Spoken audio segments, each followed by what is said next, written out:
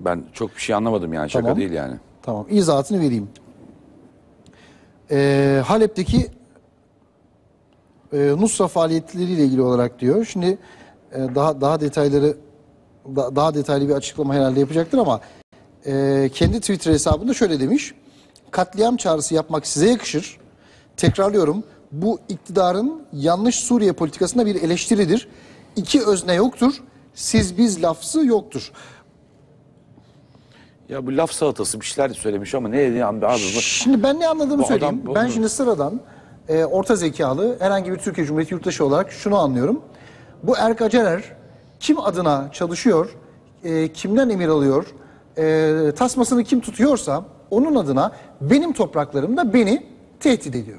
Benim anladığım Bu yani bu bu bu, bu o kadar basit manada bir tehditse bu çok ciddi bir suç şu anda şu anda işlediği bunun. şu, şu ana kadar buna yani, Yani biz Halep e, yaparız ne demek Halep, ya? Ha, yani Antakya'yı bombalayacak mısın? Ne yapacaksın kardeşim? Ha, Anlamadım işte, yani. işte ben de onu bir gün anlamaya gelecek Antakya'yı mı bombalayacak? Bu sizin adamlarınız bu DHKPC, MLKP var yok mu? Antakya'yı Halep'e çevirmek ne demek?